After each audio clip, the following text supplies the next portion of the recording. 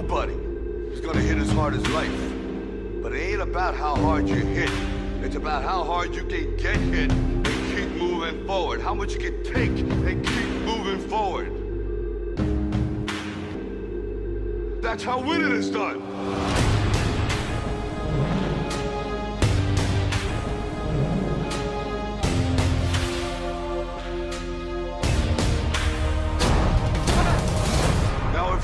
You're worth, now go out and get what you're worth. But you gotta be willing to take the hit.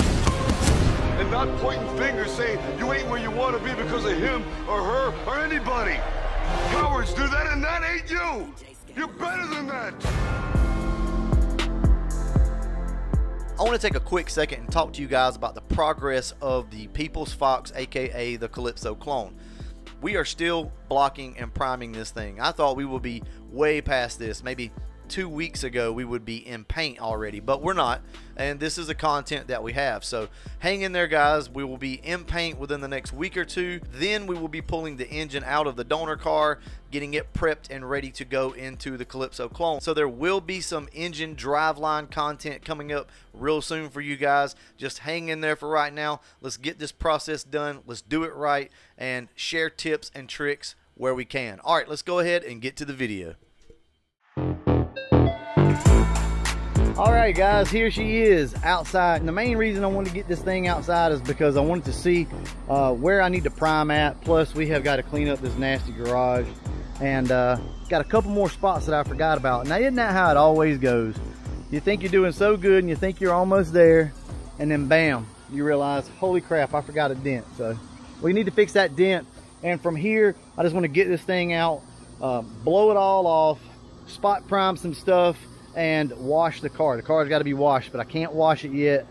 I don't want to wash it yet until I get the primer on it because there's a bunch of bare spots all over the place.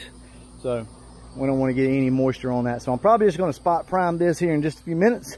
Going to mix up a little bit of primer as soon as I fix that up there. And I may even go ahead and prime around that anyway and just fix that separately because I have got to get primer on this car because I got to start, I got to finish blocking it out.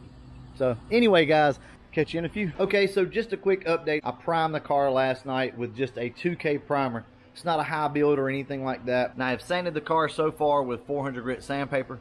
So that's where we're at. Looks pretty smooth for the most part. I got to go back over it again though. We're going to finish it up with some 600 just lightly. And up here, I ran into a little bit more uh, work. So I forgot that this deck lid had two dings, one there and one there. And what this is, is polyester filler. Uh, it's very lightweight. It's not really meant to cover such a big area, but it's a very, very slight uh, imperfection. So I'm basically just putting a skim coat on it and I'll come in and block this out and hopefully it'll be smooth as ever. And up here same way. One thing I do want to touch on guys on that I have noticed that I have learned is uh, anytime you have a body line like this and you have a dent in the top of that body line and you think how am I going to sand this out and keep that body line straight. If you have a good line on either side of the dent, say here and here, the body line's not affected, like that. You just have a dent in the middle.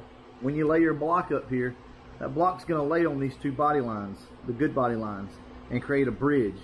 And if you hold that block level enough, you should be able to maintain this. So it's gonna knock that Bondo or that filler down and match it to this. Take your block, and as you sand, it's going to level that out. It's going to match the Bondo to the body line. Since the body line is the hardest and the Bondo is a little softer, should match it up.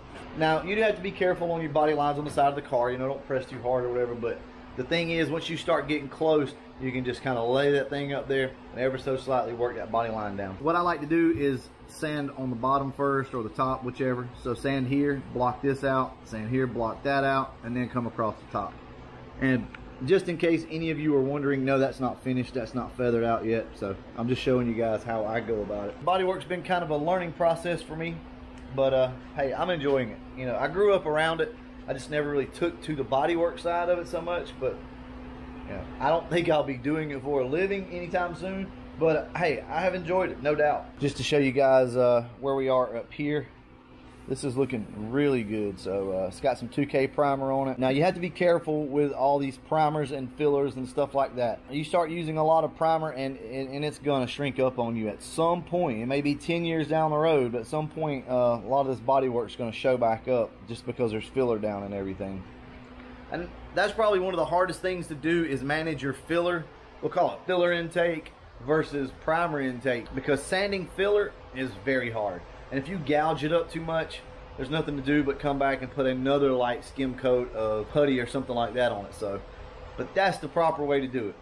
Even filler will shrink, especially some of this thinner stuff. It's going to shrink up eventually. Anyway, guys, that's where we're at right now. And uh, overall, she's looking really good. So yes, I have block sanded this car out a lot, like three times already. Well, this will make the third time. But uh, that's really the correct way to do it if you want everything to be slick because after I shot this last little bit of primer on, you can't go in with, with your hand and sandpaper in your hand and just start sanding because you're going to put finger marks in everything that I just worked so hard for. I'm just lightly scuffing up the primer with some cross hatching and a block. Should be good to go. Uh, the roof might need a little bit more work, might need some more primer. Uh, there were some imperfections up there, but guys, we're, we're close. We are so close, I can taste it. We were close before, but imperfections. I'm just, I'm after all these little imperfections that I can find. I shouldn't be telling you guys that because I know it's going to make it sound like, oh, I can't wait to see this thing in person because, oh, it's going to be flawless. No, not even close to being flawless. I have, I feel like I have an obligation to at least try to find all these imperfections that I can anyway. There's going to be some left in it, but um, that's where we're at.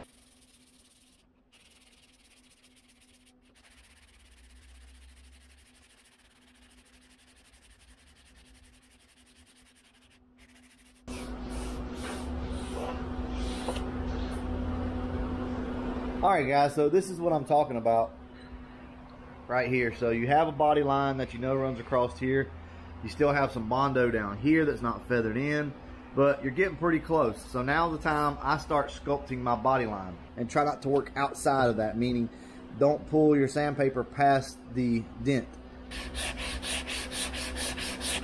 This is how I attack that. And what it'll do is it'll sand right down through the Bondo, find the body line, and then it'll leave you the low spot. You'll be able to see it. Let's go ahead and uh, finish kind of feathering the edges. So what I'm going to do while I have the 120 grit in my hand here is go ahead and just start feathering these edges because there's no dent down here. This is where the uh, filler has to be feathered out. And it's a lot easier for this sandpaper to do that than say 320 that I'm about to switch to.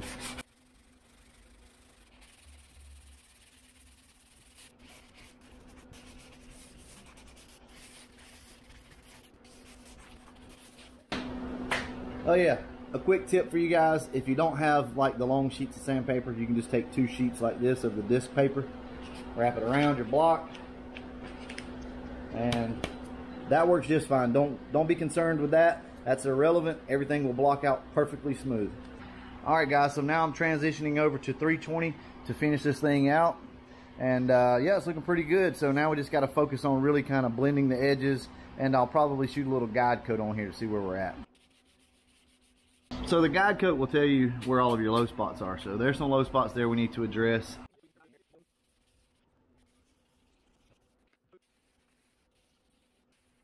All right, guys, that's where we're at so far. Um, it's looking pretty good. I got to go in and finish everything out now, but that is the gist of it. And hopefully you won't be able to tell that there was a dent there when I'm done. All right, guys, I'll get back to you in a few. Figured I would go ahead, bring it outside. It has been wet sanded with 600 grit for the most part. I still have to sand the front bumper and put some adhesion promoter on it. But other than that, everything's pretty much done. Um, the top really needs to kind of be going back over again final little details. I mean, I'm picking out all these corners right here. So what we're going to do now is go ahead and rinse this thing off as best as possible. Obviously, we can't really wash wash the car because we'll get water everywhere, but there's going to be a little water that gets in, but we have to wash this thing. So what we need to do is really just wash all this dust down and let it uh, let it run down, drain out. You know, air works pretty good, but air doesn't get it all. And I am going to hand wash the car here in just a few minutes.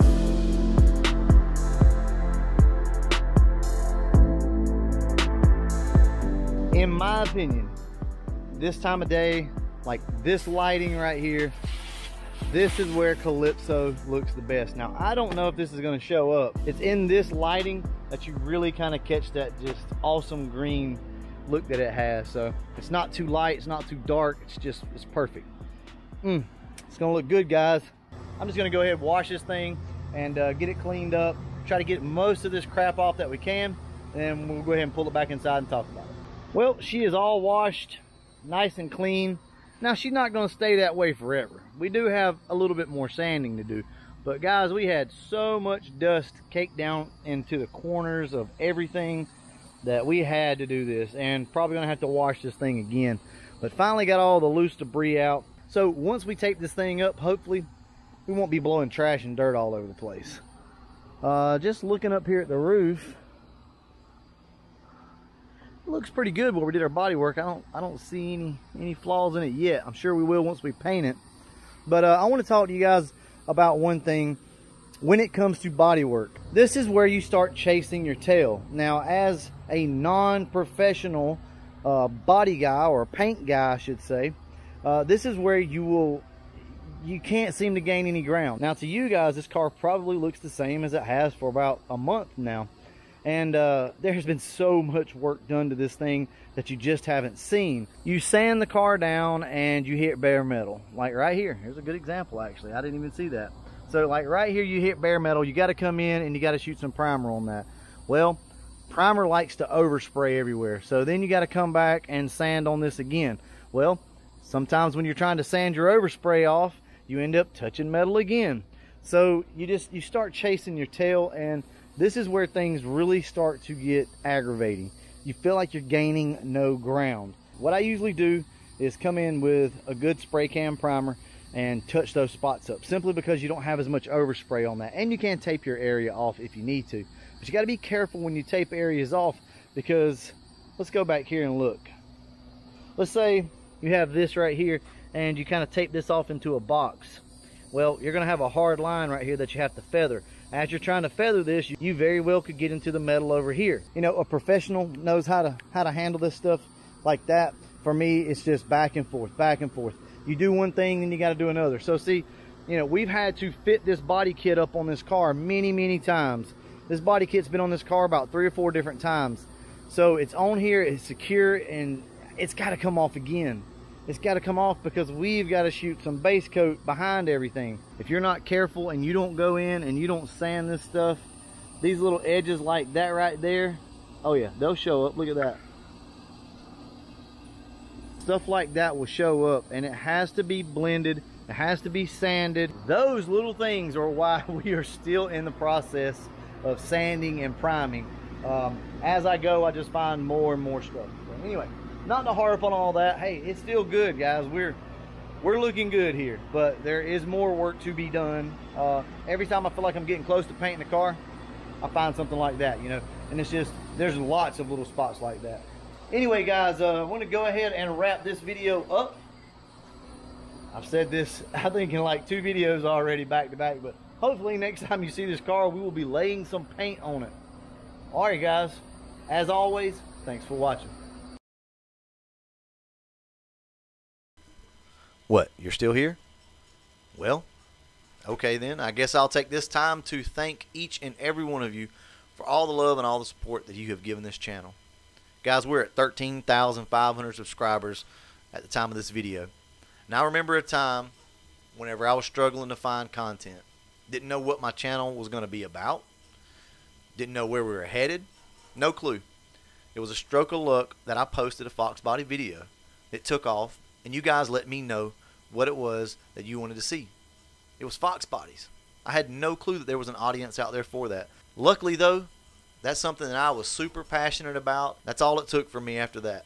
So here we are, over 13,000 subscribers. And I just want to say thank you all so much for everything that you've done, for picking me up whenever I'm down. I try to get on here and motivate you guys, but in the end, we all just motivate each other. I mean, hell, you got me out here again building another damn Fox body. I thought after the red car we were done, guys. What happened? Thought that was it. Well, I guess not.